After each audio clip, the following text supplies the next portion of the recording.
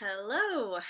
Um, welcome to this week. We are talking about Virginia Satir and her model of therapy, which has been called a lot of different things in our book. Um, Linda Metcalf calls it the Satir Human Validation Process Model, which is quite a mouthful. It's also just been called the Satir Family Therapy Model. Um, so the main point is this goes along with Virginia Satir and I am really excited to get to share um, this model with you. Virginia Satir is one of the therapists that I just really loved learning about when I was in uh, my master's program. The first time I saw a video recording of Satir doing therapy, um, maybe embarrassing, it's my own stuff. I just, I started crying. It just was so beautiful to me. Um, I loved how uh, she presented herself and the the feeling of congruence and authenticity and connection was just really beautiful to me. And that is really key to her whole model. So hopefully you've gotten to watch some of the videos already for this week so you have a sense of her and we will talk some more about her as we go along. So in the book, it talks about how Satir's model is humanistic and experiential. Um, those are two traits that I also practice as a therapist. Humanistic basically means believing that humans have strengths and capacity within themselves that maybe has been untapped. Um, that philosophy of humanistic has kind of had a lot of iterations.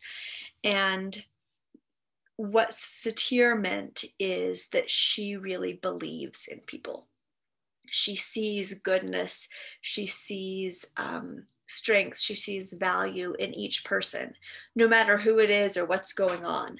And she really embodies that. Um, she sees it in herself too. And she talked, in addition to her work with family therapy, she talked a fair amount about self esteem and some of the ideas from her model get reflected a little bit in one of the models I practice most, which is internal family systems. And we'll touch on that in several weeks um, when we talk about that model. So, this image of the fountain is a metaphor that Satir used. Um, you probably saw it, hopefully saw it on one of the videos, um, that longer video where she's talking about peace. And so her view of humans is that they have this, this power, this strength, this light. I, you, there's a lot of different words soul, um, potential, we might say divinity, whatever it is, that we have this inside of ourselves. And we want to as humans, we want to manifest it. We want to be able to be our true, authentic self and give what we have inside to the world. And she talks about how, depending on contexts of our family and society, sometimes those nozzles that are like the water fountain, if the water is that that strength, that um, beautiful human nature, the goodness, the light, then sometimes those nozzles that would express that get kind of pinched. And um, so, so that we aren't able to really express the beauty that is within us. And so she talks about becoming fully human, which means to being to be able to express in congruent, authentic ways what is within us. And um, one of the things that she might do if she was working with an individual instead of a family, well, she may do it some with a with a family um, as she's kind of working a little bit with each person, is to help people recognize the traits and the qualities that they have within them and what is truly self, what is truly them. A lot of times people will come in and say they don't feel um, like they, they haven't felt like themselves, they haven't felt like they can be themselves. And that's something that Satir would really want to help people be. Okay, um, another aspect um, that I talked about humanistic experiential. So Satir believed that we learn things experientially. And experiential learning actually happens all the time from the time we're we're little and we don't even have full control of our limbs. And so we're kind of like moving our muscles around and our hands are kind of like all over the place. And then we figure out oh if i you know do this thing it gets my hand in my mouth and i could suck and that's good. Um, when we're learning to crawl and to walk we try and make mistakes and then pick ourselves back up again there's a number of different models of experiential learning but in general there's this sense that we do something or we have an experience and um, then once we've had that experience there may be success or there may be failure or there may be kind of some of both but we make sense of that experience. Um, we make sense of that experience and in making sense, we kind of learn. Now, one of the things is that we can learn things, learn things that aren't really true, and, and that can go along with trauma. So, for example, if as a small child, um, your parents aren't there for you, or you have these emotions that are completely invalidated, um, you, you learn that it's not safe to have emotions or it's not safe to share emotions, um, or you learn that you are powerless, things like that. And that would be an example of those um, nozzles of the fountain getting kind of crimped so that we can't really be ourselves and express ourselves. But it is experiential learning because we have this experience, we make sense of it, we process it we sometimes will um, generalize it or conceptualize it how how will this apply in the next my next attempt? And then we try it again. And you know so this is how we learn kind of outside of maybe scholastic venues but we learn this all the time. We learn it in the way we communicate with other people. We learn it in riding a bike. We learn it in any kind of skill. We try it. We succeed or fail, we um, kind of have some idea, we process that, reflect on it, and then apply that and try it again.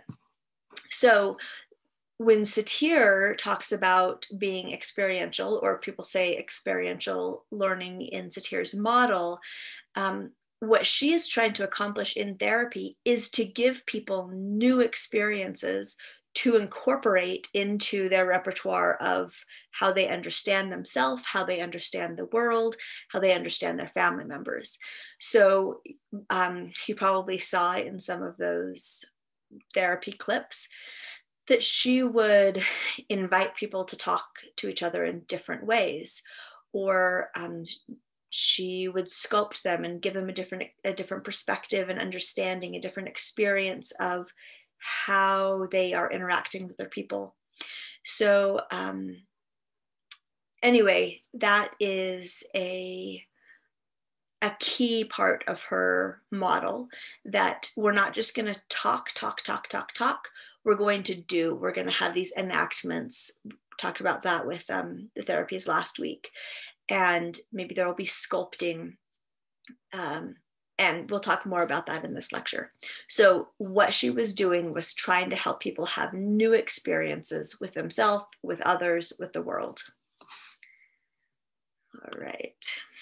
So, Satir has a lot of wise things to say. Um, and this is one of them. And this is about so she saw the process of becoming human and hopefully you saw this in some of the videos but she saw the process of becoming human as being facilitated or hindered by interactions in families. And that if you get this perception from other people that you are only supposed to be a certain way, or um, that you have a certain value, or something like that, that can kind of pinch off those nozzles. It can keep us from being fully ourselves, becoming fully human, as she would say. And so she said, we, we especially as we grow and as we're adults and as we are being self-reflective about this she said don't allow other people's limited perceptions to define you. We can't do that. You need to be able to fully express you. Okay, so um, Satir had a number of elements of her therapy that were pretty key. She, in addition to talking about so family therapy, she also talks about self-esteem and then her coping stances or communication stances, which she saw that communication and the way that people communicate comes from how they're trying to cope with things. Um, but that's another key element that she talked about both inside and outside of family therapy. So she had these ideas of four different um, kind of unhealthy or unhelpful coping stances. And then also there is um, another coping stance, which is what she's trying to help people get to, which is congruent. So these different coping stances, um, you can see in the uh, kind of top left of the screen, it says self, other, and context. So she saw those as kind of the elements that determine which coping stance um, people might use. So, in a blaming coping stance, you are, or the person who is blaming, is aware of the other um, and focusing on their issues, but is not particularly aware of what's the contextual elements and what, it, what is my part in that. So, of course, she's systemic, and so she's saying, you know, context is important. Your part in is it in it is is important also.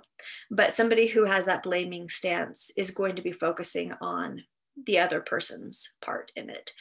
Um, so, potential signs that someone has this coping stance, things that she might listen for, um, the sense of it's their fault. Um, why didn't you do this? Um, there's less responsibility taking, there's challenging and criticizing. Um, she also pointed out that there is a facet of this that can help people be congruent, which is just to be assertive. Um, and so then, as you see under there, ways that could help people who have this coping stance or this communication stance get towards being more congruent um, could point out that the blaming hasn't solved the problem. So, you know, you can blame somebody else all you want, but if that strategy isn't working to get you what you want, then maybe it's not the best solution. Um, can also do that systemic reframing, help um, the person who is blaming see their part in this, maybe do some of that um, kind of pointing out the reciprocity and the circular causality of a situation. Um, also, and we'll get a little bit more into this later, but if someone is blaming, blaming, blaming somebody else, then um, satir might kind of deepen. And we'll talk about deepening with other therapies also, but um, and we'll talk about this with her metaphor in a minute of the iceberg. But deepening just means like understanding what's underneath it and getting to the most human yearnings and and beauty so you know if if the blaming person for example is saying you never um, listen to me you never take out the trash you never um, help me the ways i need to whatever that is um, satir might slow that down and say, you know, what I think I'm hearing is that you really want to connect. You really want to know you're important. Am I getting that right? And so by slowing it down and helping deepen, the person is able to kind of reflect on what's going on for me and maybe talk from that level or or help that get resolved instead of the blaming behavior. Conversely, it could do this, um, satir might do the same thing with the person who's being blamed. Um, you know, I wonder what it's like for you when your husband or your wife just blames you for all of this and and maybe you can help that person deepen and help that person be able to say i feel like i'm never enough I really want her to see that I'm trying hard and it's it's not my intention to hurt her things like that so we're deepening um, we're kind of going down the um, the iceberg as it were getting to what's um, what's underneath the interaction so that then if we can get there and people can actually express what's going on for them then that's a more congruent stance Okay, placating, um, that's another one. This would be like the person only paying attention to their part, not paying attention to the context, not paying attention to the other person's part. Just, oh, you're right, it is all my fault. Um, I wish I could be better. Oh gosh, I feel so bad.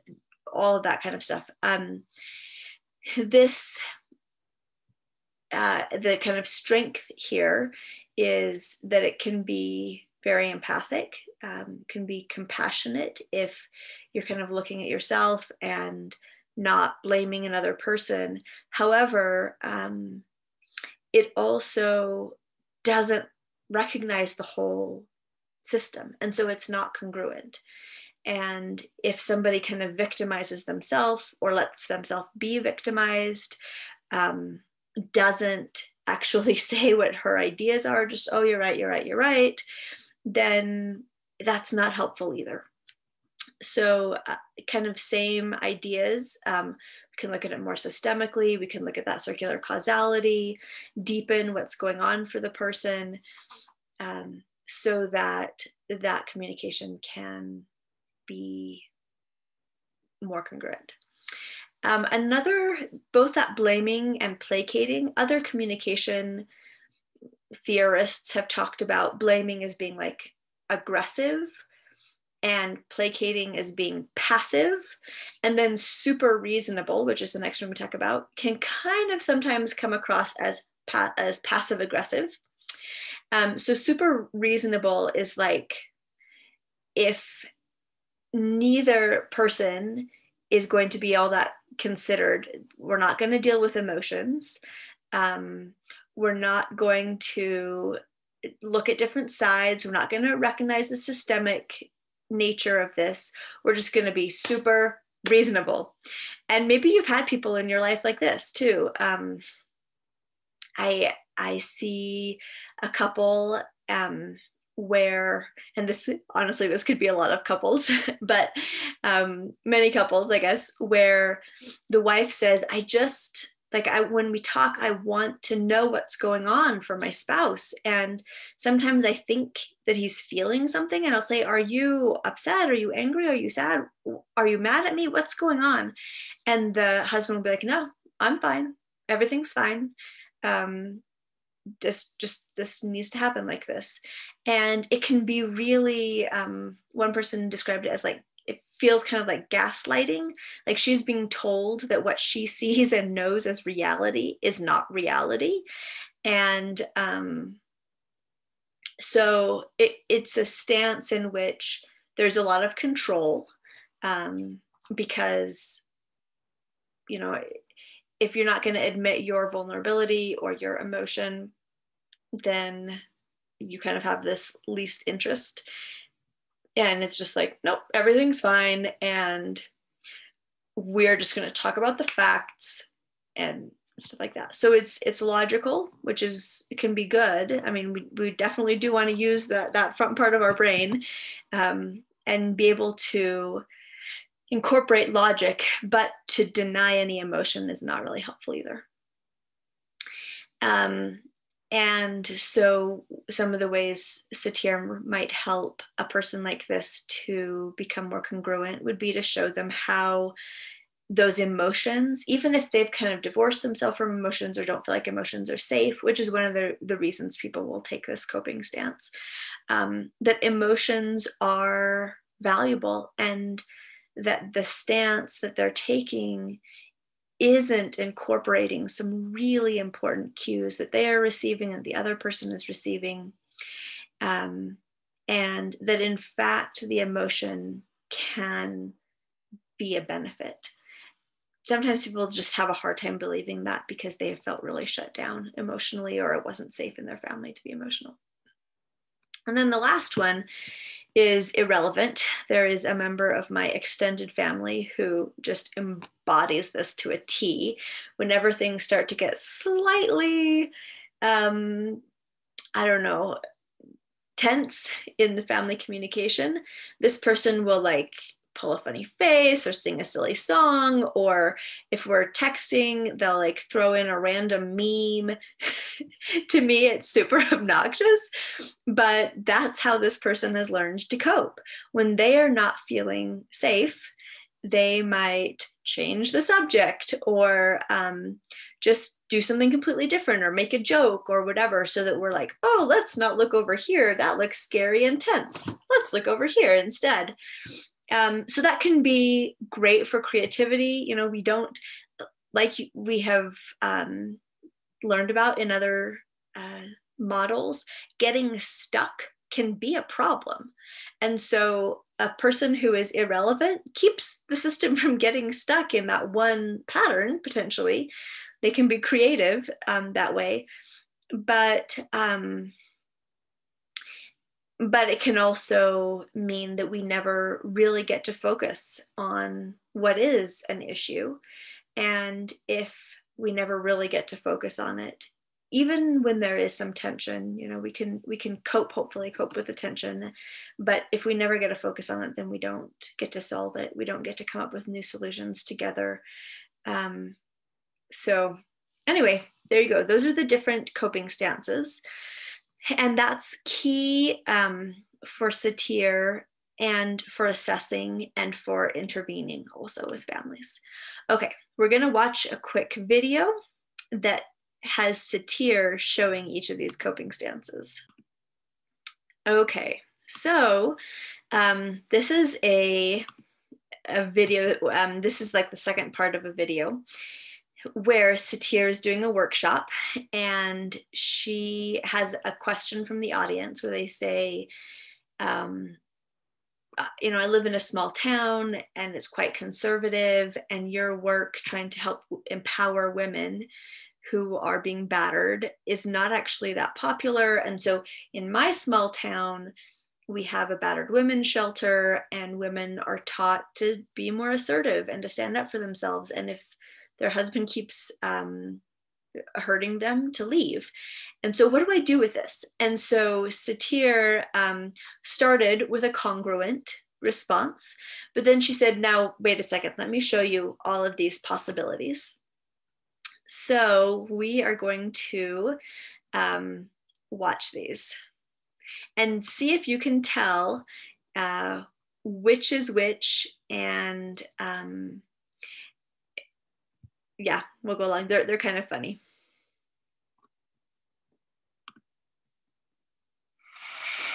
Now, I just want to do this again, and I want to do it another way.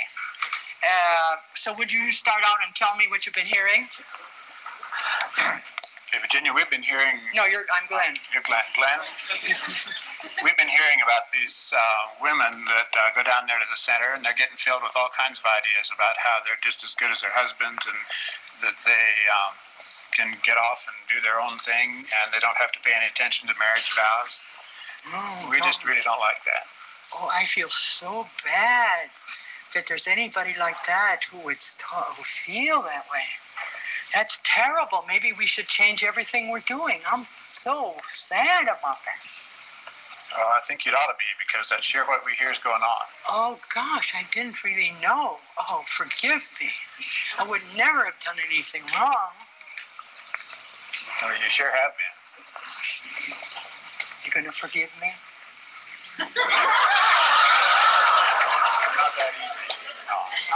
Now that's another whole string of affairs?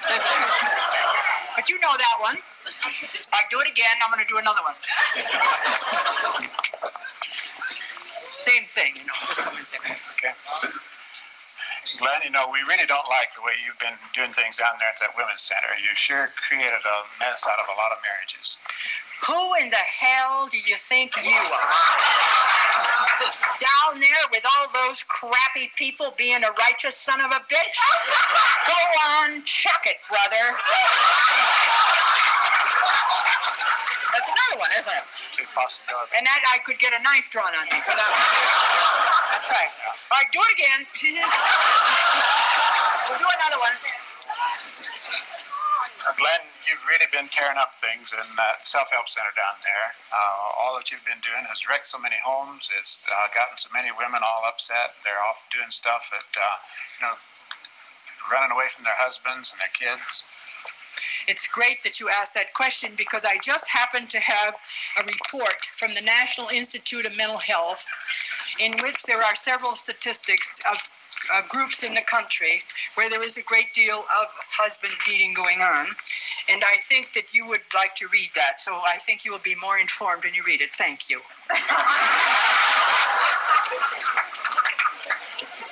I already know all I know and all I need to know. all right, now do it again. I'm going to do another one. you notice everyone sends it in a different direction. But do it again. Glenn, I'm really upset with the way things have been going down there at the center. You've been taking a bunch of this new human psychology stuff and turning it loose on these women, and you really wrecked a lot of them. Oh, God in heaven, I knew one day somebody was going to come up. Do you know, that reminds me of a joke. a joke? you don't really care about that. And I can do that. You recognize that.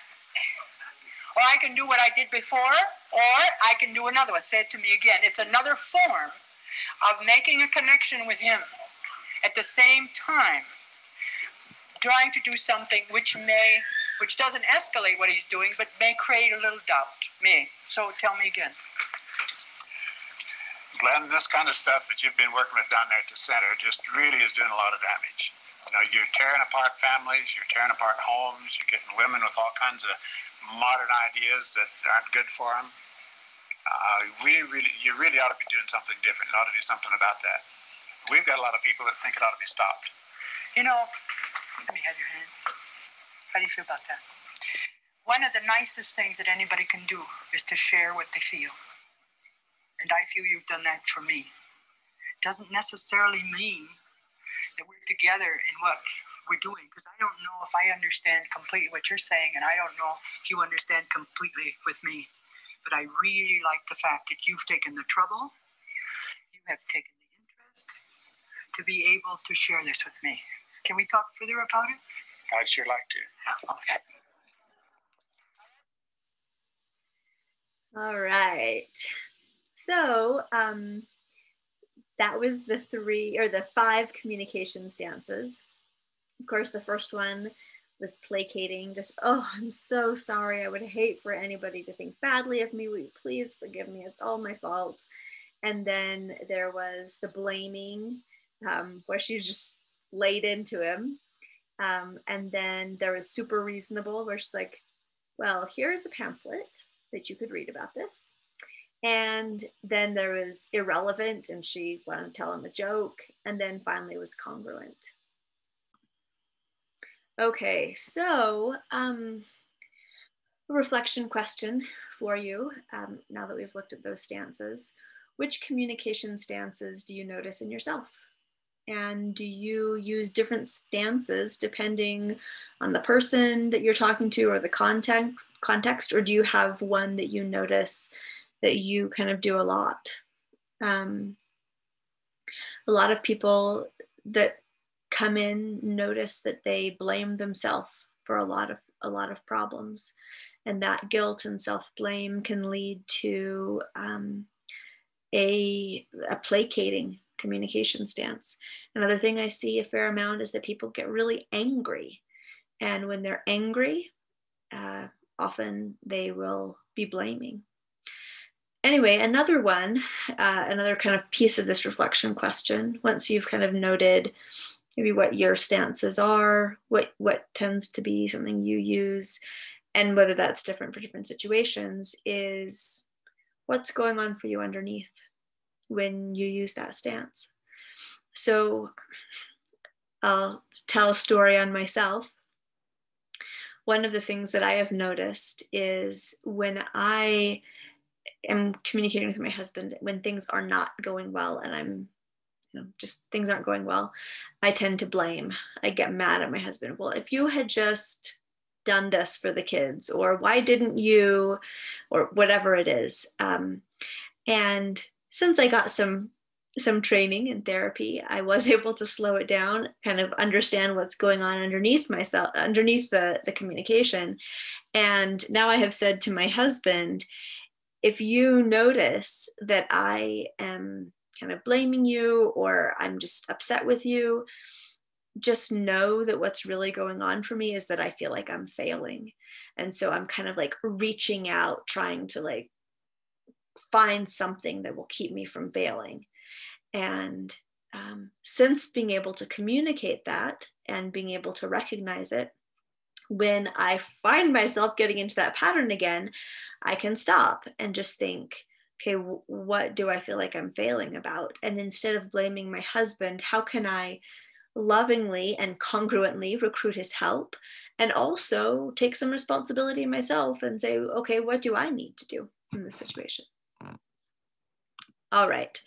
So I mentioned that we would talk about um, this iceberg, which is another metaphor uh, that Satir used. And this metaphor, not in exactly the same form, but we will talk again about this, about deepening, about getting to what's underneath when we talk about emotionally focused therapy. It's, it's a little bit different, like I said, but um, a very similar concept.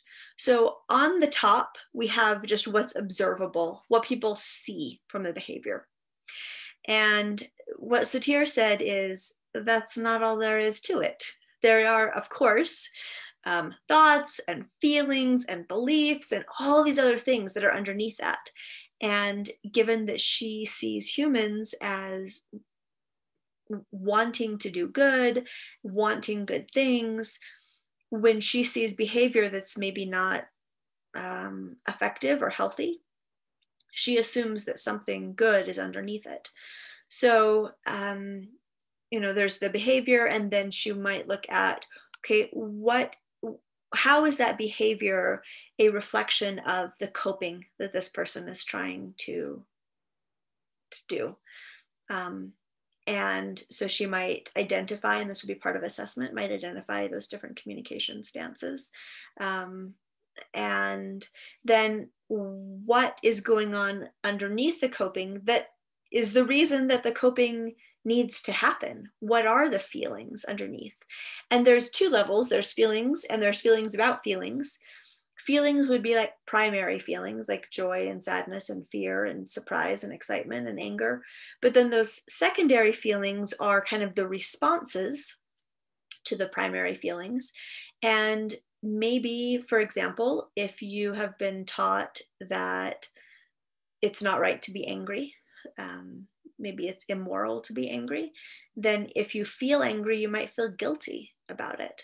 Or maybe you have learned um, from your experiences that it's not safe to feel um, excited about something because that's you know that shows that you're invested and if you demonstrate your excitement then people will somehow take advantage of you for that and so maybe if there's some excitement then there's shame about having been excited that you know that makes you vulnerable um, so there's that that feelings level. Then even below the feelings level, she put perceptions, meaning the way that we perceive things is going to um, to create or to inspire the feelings that we feel about them. So, um, perceptions are beliefs and assumptions and values and thoughts and ideas.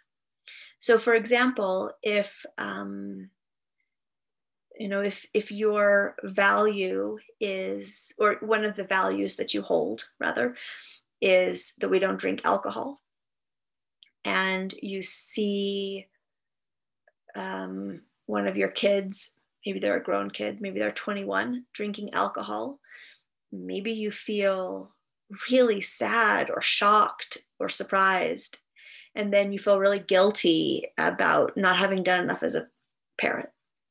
Now, if that's not your value, if you think it's fine to drink alcohol as an adult, then if you see your adult child drinking alcohol, it's no big deal. You don't have the same um, feelings about it because you don't um, think that it means the same thing.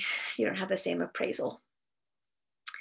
Um, then expectations come even below perceptions, and expectations then kind of create these perceptions. Expectations can be expectations from other people about yourself, like um, I expect that I will teach my children to um, love God and to know right from wrong and to keep the commandments. That would be an expectation. Maybe I expect that not only that other people expect that of me, but I expect it of myself too. And maybe I expect of my children that they will um, kind of exemplify and, and show what I have taught them. And so then that also uh, impacts the perceptions that we have. And then yearning is that's kind of the deepest that we go with emotionally focused therapy. It's what all humans desire. It's what we long for, what we want. We want love. We want to be connected. We want to feel appreciated and safe and known. We want to be trusted. We want to be happy. We want to express ourselves and through creativity um, we want to have some sense of independence and of being able to be ourselves as well as being connected. And um, then she saw those things as an expression of that that core that self um, which as i said before could have a lot of different words to describe it. Spirit soul life force core wisdom um, in internal family systems it's called self. Anyway um, so as um, Satir is working with a family and working with each individual in the family, she's looking for all of these. What's going on underneath the surface?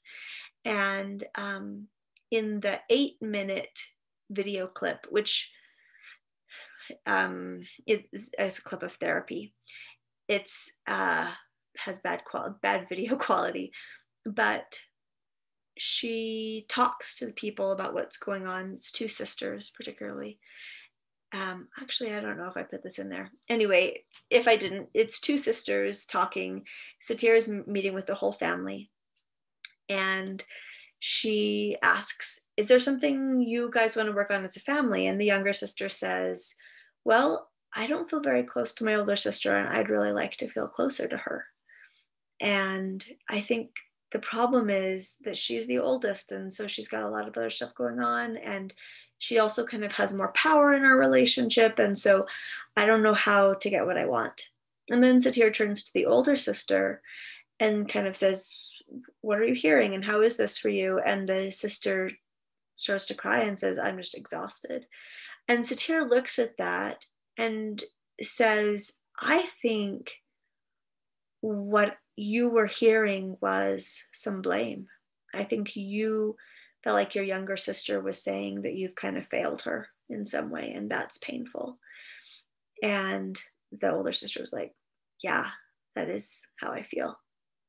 So, um, that ability to really tune in to what's going on for a person is something that's important for all therapists. And Satir really does it a lot um, when we do emotionally focused therapy, you'll see Sue Johnson does very much the same thing. And she also, like Virginia Satir, leans in and just wants to be close. And both of them are a little more touchy than we often get to be in therapy now because of ethical issues and stuff like that. Um, but just really seeing what's underneath it for the person, really hearing um, what their their yearnings are and what their fears are and things like that. Okay, so a little light humor. One of um, Satir's famous sayings is we need four hugs a day for survival, we need eight hugs a day for maintenance, we need 12 hugs a day for growth. And um, so people are saying, I don't even get close to getting that and especially at this time of COVID, oh, we do not get enough physical contact. We don't get enough hugs. now I don't know. I mean, that was that was kind of Satir's idea, and she, like I said, is a very physical, warm, embracing person. You saw it just in that video too. She gave her hand. Um, she just was constantly touching people. Um, anyway, I like I said, I really appreciate Virginia Satir, and, and when I learned about um, her model and this this saying, I thought my kids need more hugs than I'm giving them. And I'm I'm always happy to give hugs to my kids, but they don't often ask for them or they don't just come up and spontaneously hug me. One of them does, but not all of them. And so we instituted family hugs at the end of our family prayer um, in the morning and in the evening. And so I know that kids are getting at least some hugs every day. Okay, another component of Satir's model is this change process. And of course, all of the different models have an idea about how people change. And this is kind of a visual portrayal of what Satir talked about. So we start with homeostasis or the status quo, what people are comfortable with. And of course, even if they they they know it and its status quo like we talked about with systems theory it doesn't mean that it's healthy. It doesn't mean it's very sustainable. It doesn't mean it feels comfortable. And yet because it is known it is sometimes people will cling to it and not want to change. Um, i had somebody in therapy once say to me you know it's even though this characteristic that i have is really difficult in my marriage, it's served me for my whole life and I'm not very good with change and I don't really want to change it. So that is this resistance. You know, we've got the status quo. And if somebody's going to try to come in and change things, uh, yikes, please don't, you know, don't shoot me down into this um, chasm where I don't know what to expect and I don't know if I'm going to be able to come back out of it. Um, so it's pretty normal for people to have some resistance to change. And that's, you know, because of that status quo, that homeostasis, also because people often just don't know what is coming. They don't know another strategy. They're doing the best they can. And so if you try to, you know, push them forward or push some change or suggest some change, then that's scary. So there's some resistance. And then it's like this free fall into if you you know if you say i now can't do my coping stance of being super rational and ignoring all emotions then like emotions are going to overwhelm me and i have no idea how to cope with them. And this is chaos and super scary. And so that chaos ensues and um, Satir, Virginia Satir, and then there's another guy who also does experiential called Carl Whitaker. And we're not going to do his model. There's just too many models to, to do them all. But um, chaos was something he embraced. It was like if what's if the problem is getting stuck, then you know we've done that that like a river running through, and one side is structure but rigidity, and the other side is um, flexibility, but then chaos. He was like, if we're over at rigidity, we're gonna throw throw them into chaos, and then we're gonna pull the pieces back together again. So yes, there is definitely like, whoa, we don't know, like the rules are changing, and our communication stances are we're trying to change those, and um, our relationships, and we don't know like how are we relating to each other now. So there's a lot of just like change and chaos. Um, but then in the process of therapy new strategies that have that work better or are more congruent um, new relationships new rules all of these start to come in. So those are the transforming ideas. And then as people start to integrate and create some more structure again um, around these new ideas so this is like second order change we're not just doing more of the same we're actually having new thoughts new um, ideas new strategies then that integration happens and we reach a new status quo which as you can see is hopefully at a higher level or a healthier degree healthier um, way of interacting and way of being and um, healthier relationships than we were before. Okay, so um, in assessment, it talks in your um, textbook about how Satir would potentially do some family mapping. I have not heard about that before Metcalf mentioned it. Sorry, I've got some something in my eye. Um, and I have not seen, I, have watched a number of Virginia Satir sessions. Um, you can buy like masters series or you can watch sessions of like these the people who created these models. Anyway i haven't seen her do family mapping per se not specifically not in as formal a way as a genogram or a structural map but she might kind of take the family history find out oh you know in three generations um, the grandparents of the kids or the, the parents of the adults how did they cope? Um, what were some of the things that were going on for them uh, what were their various stances communication stances so to kind of be able to see like how is that coming down um, into the family system. Then ingredients of an interaction. So like i mentioned um, as we were looking at that iceberg metaphor as as the family's interacting she's going to slow them down and she's going to notice the coping stances um, and deepen that and so as she is talking to the family she's assessing what's going on um, another part of the assessment might be the rules of the family system about communication so those coping stances and the way they're interacting um, is not just individual coping, but also there's probably some family structure around what is expected and what is okay. So maybe um, it's okay to be a placater and it's not okay to be a blamer. And so there's lots of placating. Or maybe it's not okay to have emotions at all. And so people are super reasonable with each other. So she looks at the those family rules also. Okay, uh, another quote from Virginia Satir, uh, life is not the way it is supposed to be, it's the way it is. So there's that acceptance piece, right? We talked about acceptance and change. She's saying it is, like, even if it's not what you want, it doesn't help to deny what is. It just is the way it is.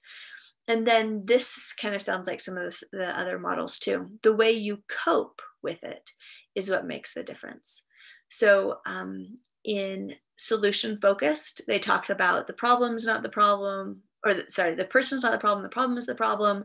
And the problem is whatever was used to solve the problem. Often the solution itself becomes the problem. Well, Satir says the way that you are coping with the problem can become the problem. All right, so experiential interventions um, that Satir used. And I'm going to show you a little video of some of these too, or well, one of them particularly. So the biggest one, and we've talked about this um, with you know the very beginning of the class with systemic and then self of the therapist and we've talked about it some with the other models also how models reflect the character and the person of the developer but virginia satir was just has this presence that in itself created a new experience. Um, she just loves people and she just wants to connect. And the way she looks at people and like gets close and um, holds their hand or touches them or whatever, that whole presence can be a new experience for people that they are being seen completely and that that the therapist is very congruent. And so it invites them to be congruent also in the way that they are interacting with each other. And um, and just to be seen and valued and held and and all of that can be just a really powerful experiential uh, intervention so the next one, Satir loves metaphors. I like that about her. Um, so family sculpting, which is also a spatial metaphor. Um, and that's what I'm going to show you. Sculpting is something that I do a fair amount in my practice also. And um, the therapist might, at, like Satir might have asked people, like maybe she heard, maybe a mom says, you know, I've got this um, this kid, and my kid is into these things, and I want to support and help them, but my spouse is really upset. In fact, this was, I think, one of the um, therapy session snippets that you saw, where the mom is like kind of being pulled between the dad and the um, the son. And so probably Virginia Satir would have said, you know what, let's let me let me see this. And so she probably placed the mom between the dad and the son just so that she could really have the experience of being pulled both directions. Um, but another thing that can be used with um, sculpting the family could sculpt how they feel in the relationship. So, like how close and far they are, and kind of the, the various stances that they have. Another one is enactment. Um, you probably will have seen this in one or two of the therapy snippets where um, she has people turn to each other and say what they want. Now, in um, narrative and in solution focused, when there was an enactment, it was more like, let's go over what happened and then we'll sculpt a new way to have that interaction. With um, satir and EFT, an enactment is more about, so they don't have you do it the old way. They'll try to get you deep and deep and deep into the bottom of that iceberg and then be able to express it to the person um, in a totally new way. Like, what is my real desire? My real desire is to connect with you. That's what I really want. I really want to feel safe in our relationship, something like that. So, that again is a new experience to hear these deep yearnings from somebody instead of just being at the behavioral level. Um, parts party is very similar to IFS. Um, it's where you recognize all the different parts of you and their interactions. So this could be done with an individual. It could also be done in a family as you're looking at one, one member of the family. Um, self mandala is where all the different um, people in your life and their different expectations, your different roles, all of those things get represented by various people, or you could do it with um, little models or something like that, so that you can be able to see what's going on. And in seeing it in a new way, you're having a new experience. Um, back to use of self, touch was very important um, for Virginia Satir and again that like giving somebody her hand or putting her hand on their shoulder things like that were an opportunity for a new experience. Um, she could also facilitate congruent emotional expression and then that kind of goes with the communication um, enhancement helping people be congruent. And that can also kind of go with the enactment that she helped people as as she deepened with them and saw them clearly um, she could help people express what was really going on for them and to be congruent in their communication and have that experience multiple times in session so that hopefully they could take it home. They could learn that it actually is safe to be congruent. It is safe to say what's truly going on within you and what you really want and yearn for. And then that opens up new possibilities in communicating and gets people unstuck from those old um, incongruent communication stances. Um, slowing down interactions to examine the ingredients of the interaction would go right along with that iceberg metaphor and these other things, where instead of just um, looking at the content of the interaction, like what's what people are talking about, or like the specific behaviors. Um, she would be looking at the process underneath that, the individual process, the family's process, how the different um, coping strategies are interacting with each other, and she would comment on that. Ask people how it felt, ask them what they wanted. And then softening family rules, again, is about um, changing the um, the stuckness, the the coping strategies that have gotten the family into a an unhealthy status quo or homeostasis, and um, helping them really process why do we have that rule? Could we change that rule? Would it be okay for each person to communicate and interact more uh, congruently authentically that would be another way to say it okay so there's a, a brief video that we will watch about about sculpting and so that you can kind of get a sense of how powerful it could be in therapy um, okay. Okay, so we're actually going to watch this a little bit faster because we can, and she talks rather slowly, I think. A mother called a child guidance agency asking for someone to see her six year old daughter to treat what the parents saw as the child's misbehavior. Intake noted the family included mother, father, six year old girl, and two year old boy. A clinical social worker called back and invited the parents to come in together with their daughter. When the parents and little girl arrived, the social worker welcomed them into a cozy room with several chairs and a sofa. The parents took the sofa, and the little girl huddled in a corner chair. The social worker first asked the parents to talk about their goals in coming to the agency. Then the social worker turned to the little girl and wondered if she would look over the figures on the table and choose ones to show her family. The child picked out four figures.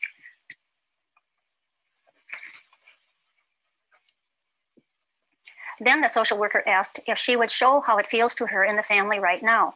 And this is what she did.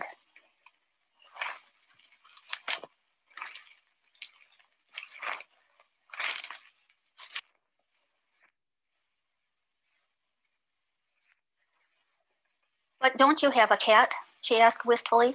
The social worker found another small object and handed it to the little girl, who moved it quickly to her side. Then there was a short pause, and then the mother crossed the room and put her arm around her daughter, saying, Honey, I had no idea you felt so alone. You can see how, in just a few seconds, the child shows through family sculpture how alone she feels. The sculpting reframes the presenting problem for the family. A mother called. Okay. All right, so that was a little example of um, what sculpting might do and how it can show things in a way that might take longer. Um, if you're, pardon me, just assessing with words. So, a quick reflection question for you guys. Um, looking at those experiential interventions. I wonder which you would probably use as a therapist and why. Um, what would you use most? What would you use least? So um, look back at that. You decide what what would you like to be able to do? What would maybe feel uncomfortable for you? And the sculpting, as I said, can be done with models like was shown in that video, or it could be done with the family members themselves. And when I do sculpting, I usually do give that first prompt of what does it feel like now? And then I give another prompt of what would you like it to feel like? And I have, especially if I'm doing this with a couple, um, if it's a large family, I can't always have everybody do their own. But if it's a couple, I'll have each person do um, do one of those sculpts. And um, then I ask the other person, How is this for you? What about this um, sculpture that your spouse has created fits? What doesn't fit? What's uncomfortable? What would you want to change? Uh, so that way it isn't too overwhelming. People say they can have a voice because sometimes sculpting something can actually feel quite overwhelming to people. It's a very powerful experience. Okay, a case study. So we have here, oh, I don't know if you can see what it says for the dads, but um, we have here at the bottom right, Sarah, who is 20 and a psych student in university. And she's had eating problems, an eating disorder since she was 14. Then we've got Jane on the bottom left, um, Sarah's mom, who also experiences anxiety and hates pressuring Sarah to eat more. And then on the top, we have Patrick, who is Sarah's dad, and he thinks that his wife, Jane, should push Sarah more. He feels like she is kind of caving in to the um, eating disorder. So, we're going to listen to a conversation that this family has, um, and then we will um, talk about assessing and intervening. Yeah, so I think I had enough breakfast now. I'm gonna. You haven't eaten a thing. Well, I have. She might be hungry later. Patrick, just you know, you, have got to leave her alone. She knows she's old enough now to know when she wants to eat. You don't have to worry. I'm, I'm gonna eat later on. Anyway. We've left her alone, Jane. I'm not always hungry in the mornings. Sometimes I don't feel like eating in the morning. Listen, you don't have a problem. Well, but, Sarah has a problem at the moment. She needs to eat but properly. I think that what you have the problem. You don't realise the more you go on at her, the you do. the more you're going on at her, the worse you're making it. It's enough to put her off of Dad, can you just can you believe me? No. What, what I need to do? Will you get something later? Will you get Get my come back with my empty bag. What I can do today or what? You're feeding her illness, Jane. I think you're making it worse. I think the pressure that you're putting on her under is making it worse. Honestly, Patrick, you've just got to listen to yourself. It's It's not like incessant. it's Yes. just Every common meal time, it's Thank you, incessant. Common. No, it's incessant. Every Girl meal time, you, to properly. she knows she's she knows that she's got to put a bit more weight on. She's done really well so far. She's tried putting weight on, but the more you're going on, It's not working, Jane. well, It's just not working. And you sort of sort Oh, I can't taking stand. sides with I need to go all the I- I, I, I say things as they are. It's not that I'm taking sides. I just see it you know, from Sarah's point of view. Exactly, you're taking her side. I just think you're Yes, handling it which is- badly. You're handling it badly. You need to be a little bit Dad, objective, please, you should have do I think you need to see things. I think you need to see things from Sarah's viewpoint. Quite honestly. Thank you.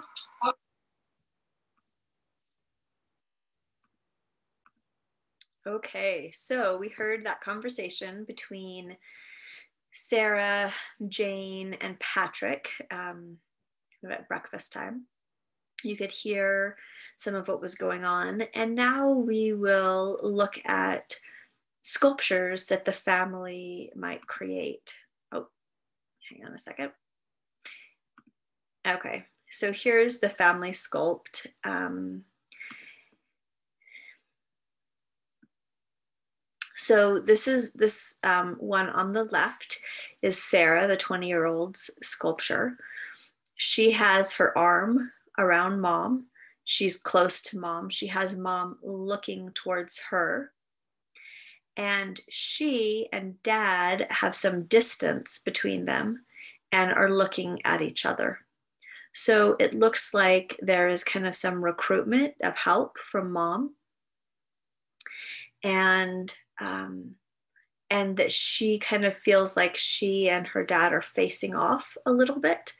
Um, you might also, maybe a word that comes to your mind is triangulation, um, where mom and Sarah have kind of this alliance, and this has become part of potentially of the either the couple or the executive if we were talking about structural um, then Jane, this is mom. Now you notice mom has actually sculpted Sarah between her and Patrick. And um, mom has her and Sarah looking at each other and holding hands. Like she's really trying to be in it. Again, we see this alliance. And she sees husband also as distant, but as covering his ears.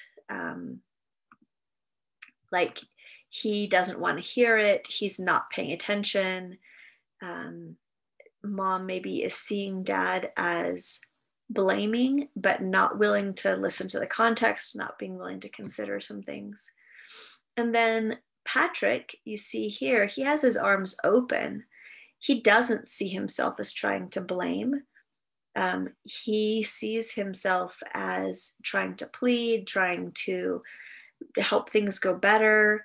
And he again sees Sarah and Jane um, separate from him, sees mom as trying to comfort and take care of and nurture Sarah. Um, probably a stance that he saw, like this looks like a stance a mom would take maybe with a younger child, um, where there's that nurturing instead of Sarah standing on her own two feet And he again sees mom as focused on Sarah, not looking at him, not considering him.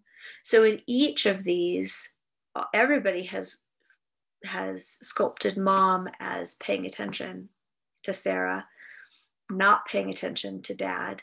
Everybody has sculpted dad kind of on the outside of this. And Satir might ask, Dad, what does it be like? What is it like for you to be on the outside of this, to have Sarah and Jane be close and allied, um, and you not really be part of it? And he might talk about how he really wants good things for Sarah. He really wants her to be better. And he's afraid that um, Jane is kind of caving, that she is being a placater, um, that instead of acknowledging Sarah's role and in the eating disorder, she is just saying, oh, you know what, we can't blame her. We need to take the blame on ourselves as the parents. Um, particularly, she is kind of blaming um, dad, she said, You talking like this will put Sarah off of eating. She doesn't tend to blame herself, but she may see kind of the parental subsystem, if we were going to talk about it that way, the kind of the parent's role more than she's willing to acknowledge Sarah's role, maybe more than she's acknowledging the whole context. So let's go back to assessment. Um, so that first, that first piece of the assessment would be about communication stances. Um, it does seem that Patrick is is kind of pointing a finger. He isn't necessarily seeing what his role might be. He is seeing both Sarah and Jane as having a role in this.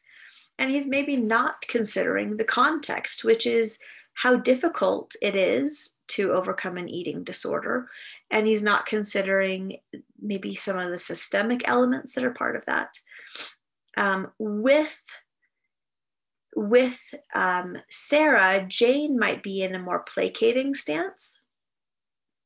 She might um, be saying, "Yeah, I, like I know you're you're trying to do everything you can. It's definitely not your fault probably something that we could be doing better as parents. With um, Patrick, she seems to be in a more blaming stance. Um, I didn't hear a lot of irrelevance and I didn't hear a lot of super reasonable in this family. Um, it sounded like Sarah, the daughter, um, was maybe doing some placating with her mom no you know it's it's it's okay um, i'll eat later um, but it didn't sound like she was blaming. Um, anyway so another thing that satir would potentially do if she was going to do some family mapping is to talk about um, mom's anxiety to talk about if there's any other eating disorders talk about what kind of communication they saw in their families growing up. Um, how did their how did jane and patrick's parents handle tension or controversy or stuff that was going on that was rough. Um, and um, then kind of looking at oh maybe you do some of that the same you know some of those things similarly. And then maybe um, looking at sarah's behavior how is sarah's behavior um, of not eating or of having this eating disorder, about her needing to cope. What are the feelings that are underneath that? What is it like for her to see her parents be kind of at odds with each other? Um, what are her perceptions about herself? What are her expectations of herself? What does she feel like are her parents' expectations of her? Um, maybe Jane and Patrick have different expectations of her. What does um, Sarah feel like are society's expectations of her? Maybe there are some conflicting expectations, like it's not okay, and maybe some of those feelings that come from perceptions of like it's I feel guilty about, or I feel ashamed of having this e- eating disorder. It's not okay to have an eating disorder, but at the same time, um, I need to feel more in control of my life, and I'm supposed to be in control of my life.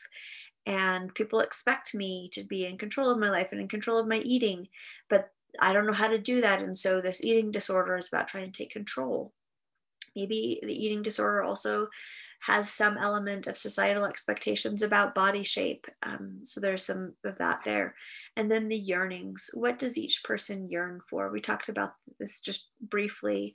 Maybe Patrick yearns to be, um, to feel like he's a good father, um, to feel connected, to feel like he's acceptable and loved. He maybe there's um, we get back up to feelings. Maybe there's some shame about his daughter having um, an eating disorder maybe um, there's some perception of having an eating disorder means there's dysfunction in the family and um, maybe even that dysfunction in the family is my fault or maybe the perception is that dysfunction in the family is my wife's fault.